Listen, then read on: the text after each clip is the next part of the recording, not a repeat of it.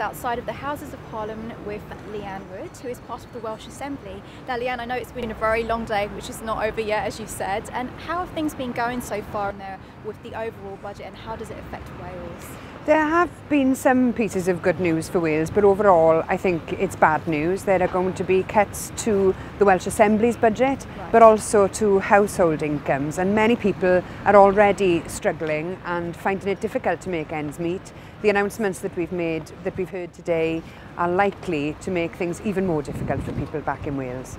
Definitely, and um, obviously with the now this is obviously the final review. Is there anything that you would like to put in place if you had the chance to? Well, I'd like to reverse the cuts. I'd like to end austerity, and I'd like to ensure that where cuts do have to be made, that they're made to things that don't affect people in their day-to-day -day lives. So, for example, yeah. the Trident replacement program was voted on yesterday. Yes. That is going to be billions of pounds on weapons of mass destruction, yeah. which could be better spent uh, bringing good to people's lives. No, definitely. So I know that a lot of people have been having this same issue about the money being spent on sort of war as mm. opposed to obviously being health and services as well. Um, in terms of like police cuts, does it directly affect the Wales as well?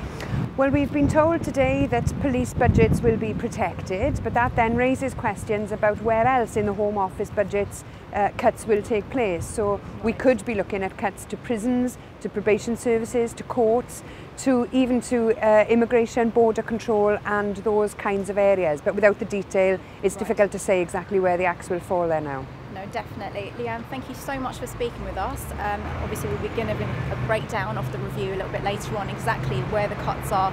And like you said, it's hard to see exactly where the mm. money's going to be going from this day forward. And um, in terms of yourself, what's next for you now?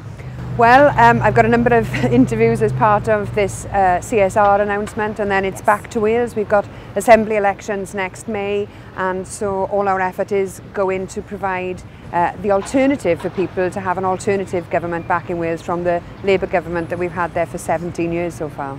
Of course, I did actually see something recently about obviously the issues with Labour as well and how obviously the changes that you're looking to make, which is fantastic. So best of luck, Leanne. Absolute pleasure meeting you.